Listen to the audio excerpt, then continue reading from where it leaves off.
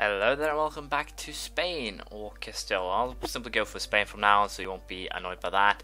Uh, last time, well, we ended up in a coalition war. We also secured three of the electors and thus I should potentially be able to take the uh, Holy Roman Empire by just getting them to like me a little bit better and then basically that should be sorted out. I also had to release Galicia, Navarra and Dauphine as a vassal, or release my vassalage of them, thanks to the fact that, uh, well, I screwed up I guess you could say. But colony wise, we are doing pretty well. Shouldn't be an issue there. And also, I have done a couple of checks on basically securing myself that my knowledge of how the uh, uh, the Cherokees and uh, Aztec, basically how the native warfare or conquest actually works. So I can take the provinces with uh, no overextension whatsoever, convert them, and then call them for basically a almost free. But as you can see, I can also potentially also go after the colonization of uh, West Britain here. That would allow me to actually get a colonial war in Great Britain, which will allow me to take the remainers. But also, as you can see, uh, colony-wise, I will be able to most likely block them off before they can even start moving inland. So the only thing that I really have to secure right now is uh, most likely I'll be taking a ton of these provinces, or uh, I'll consider it at least. And other than that, uh, I probably won't do too much here. But I have to deal with Portugal due to the fact that they are colonizing quite a lot right now. They're getting extensively uh, more. Well, I wouldn't say bold, but they're getting uh, they're getting a little bit too uppity. So what I could do, of course, is if I take these colonies, they basically will not have no way to actually go ahead and colonize.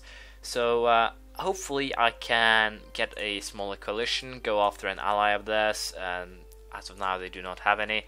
So potentially Portugal will actually keep the certain parts of uh, of this area if I do not make uh, make good of myself. So what we will do here is basically close off the northern parts, take out the natives, and after that we'll be focusing on colonizing around the coast here, and then we'll be dealing with uh, with Portugal. So uh, with that in mind, we'll keep on going, and we'll see how uh, how things turn out. As you can see, Holy Roman Empire have elected me emperor, so that actually gave me two achievements. First of all, Spain is the emperor. Second of all, I believe overthrow Austria, and that is quite good. I could also go ahead and do offline just for so that that not pop up. As you see, I overthrow Austria and become the emperor of the Holy Roman Empire. So that is done. That is all fine, and with that, we should basically be set here. Because as you can see, we do have the, my three electors and this actually gives me a second opportunity. Because I'm now emperor I can add provinces to the empire. And as you can see I can actually add basically Italy and but here's the funny spot. I can actually add Spain make myself a proper member of the empire. The only thing I have to do is actually annex Guyenne so with that in mind I'll be sending this guy back home. And we'll be starting the annexation of Guyenne to actually be able to add myself to the empire. It will give me a boost with uh, with the emperors, I believe, Denmark, Great Britain, Burgundy, Venice, they hold imperial provinces. So yeah, basically they all turned into enemies of, of mine now. And as I said, if I go after Venice, I'll probably hand it over to uh, uh, Verona here, Mantua. I still have Ferrara, which is kind of surprising, but I can live with that. Uh, but as I was saying, I can actually just go ahead potentially now and cancel the vassalization of these uh, these two because I will be getting them once I actually take the Renovatio Imperii uh, decision that will give me the Holy Roman Empire.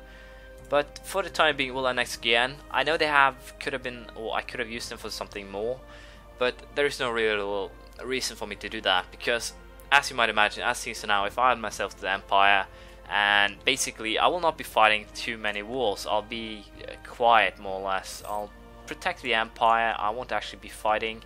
I think not at least excessively or something like that.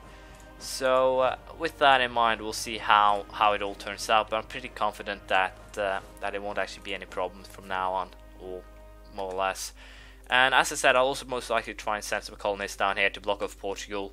Basic colonize around them is a potential possibility, uh, especially considering how many colonists or how many colonies I can actually run simultaneously. I think I'm up at eight now. If if I do uh, if I do my best at running colonies and uh, not actually fighting and stuff like that. And I also have some colonies that needs to be built here. But as you can see, economic ideas. Uh, I really shouldn't actually go ahead and call the land that I currently have. I should uh, I should wait around a little bit. I think, um, as I said, going for admin tech. Uh, I believe it's 14. Yeah, 14 could be advantage, and then get the uh, the religious ideas, but I think I'm also go that I am going to more or less. Uh, yeah, we can of course call all of my colonies. Uh, I, yes, I can live with that, and it will most likely help the revenue stream, I believe. I'm a little bit unsure about how calls really work here, but as you can see, I just used 120 points to call. I have no idea how many colonies. As you can see, it's a very long list. Uh, but as I was saying, right, don't expect any wars, don't expect any big military diversions or anything. What I will be doing is the only thing I will be doing annex Guyenne, take back Navarre and Galicia, and other than that, I won't really do anything or do much, as it were. I will be fighting Burgundy pretty soon, so I should potentially try and get best buds with uh, Austria and Bohemia potentially. I'm pretty sure they hate my guts. Bohemia I can ally with, I can ally with Austria. They hate Burgundy, so that's good. Hungary potential. Hungary is definitely a potential ally here that I can use. They're big, they border the Ottomans, so I can basically use them as a defensive barrier. And I could potentially start some conquest against the Ottomans as well. But once again, that's not really the point here. I will be doing some more colonization and we'll be waiting for uh, basically just the... Uh, how should I put this? Uh, basically just waiting for the uh, the colonies to, to finish up. I'll be uh, exploring this area here so I can start actually colonizing as I said, get uh, that done. So we'll see how things turn out. But for now I'll just, as I said, colonize and I do my best to make people uh, like me again. We'll see. Uh, we'll see if I'm successful or not. Court painter available. Lately, we have been looking for painters or artists, or try to for painters or artists to try to adequately capture the glory of a monarch. As it happens, the painter offered service to us just this morning. I think I'll just hire him. Uh, 300 ducats for a stability point with my income is virtually nothing. And colonial maintenance now is rather low here. As you can see, my five colonies are just costing me uh, 1703 uh, a month or a year. So I'll be setting up most likely two or three colonies or colonies in this area here, as I said, to try and block off Portugal and otherwise just mess about with them a little bit. So we'll see how that turns out. Currently also in the training of uh, well an army for that purpose. So uh, I'll just get that done and we'll see how how it all turns out. As you can see, we have an event here, heresy. One of your advisors argued with the bishop during the last banquet at another church and sent an inquisitor to question him about his ideas. You can spend your influence to defend him or to bow to the church to gain a pope's benevolence. As you can see, I can either gain an inquisitor, gain 10 papal influence, and my theologian will die. Or I can take 50 admin points and lose 20 papal influence, which I will do because, well, Papal influence ain't really, as you can see, an issue at all. I am controlling all of the uh, future cardinals, so uh, the Holy See will be mine. Uh, I guess you could say sooner rather than later. So for now, I'll just go ahead and take the rest of the economic ideas, and then we will focus on getting the, uh, uh, well, how should I put it? The next set of ideas. But as you can see I have set up one colony too many, and that is currently costing me quite a lot. I'm going about zero with eight colonies, but with nine, things are getting a little bit tricky, I guess you could say. But as you can see, St. Helena, or even the funniest thing, Minas Gerais is actually uh, giving me 55 ducats a month, or it's costing 25 ducats. I can have four colonies due to my four colonists, so the more colonists you have, the cheaper your colonies will be. And as you can see, Minas Gerais costs me plus 25% or 55 ducats a month. So yeah, 8 colonies I can basically run, or uh, I guess you could say I changed up between 7 and 8 colonies, but it isn't really a problem here. As you can see, this one is soon done, and I'm pretty sure most of these will follow up soon as well. So I'm keeping out for a year, should be just uh, just enough here. So we'll see how, how it turns out. I also secured the island in the center of, well, the Pacific, I guess I should say, to be able to better control uh, African colonization. And the coalition, some people have left the colonization, some have joined, Savoy has joined in, but mostly people have just been leaving it. So for the time being, I'll just be uh, be peaceful using my diplomats to uh, to appease the natives or the other powers in Europe in this case. And as you can see, I'm basically set to keep the throne for a long time, mostly due to the fact that Cologne and well, or at least Saxony is actually reformed it's kind of weird I'm waiting for Cologne, but as long as I can keep Austria off the thought of two of these. If not, I'll have to go for another war, most likely against Pomerania, since they're no longer in the coalition. And if I have to go for such a war, then I will definitely be trying to basically just vassalize them to secure uh, the hold over the Holy Roman Empire, and then I basically just have to sit by and wait to um, to get what I want here.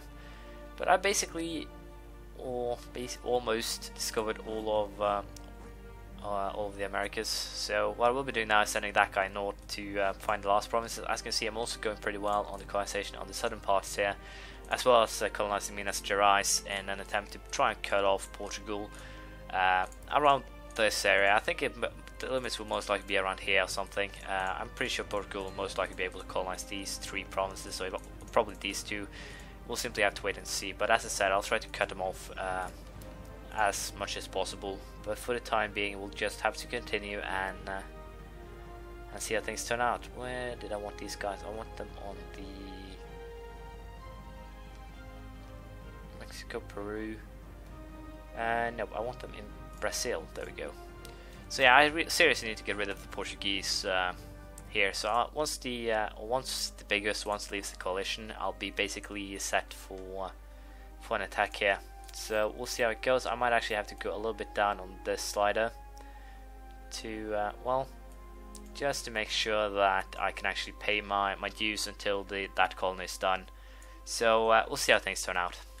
Diplomatic Tech uh, 8 has been reached, which allows me to build dry docks and trader posts, along with my trade range being increased, should have a little bit of income, not much admittedly. So we'll see how that turns out.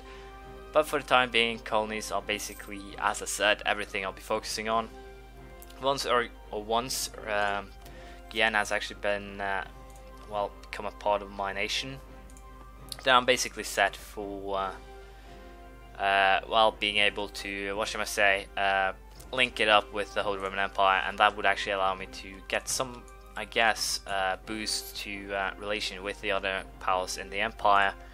So I'm basically just looking for people now to try and well make vote for what I want more or less. So I'm looking for the people with the lowest amount of uh, negative relations to me and simply improving the relations with them. And that I think should help out a little bit at least.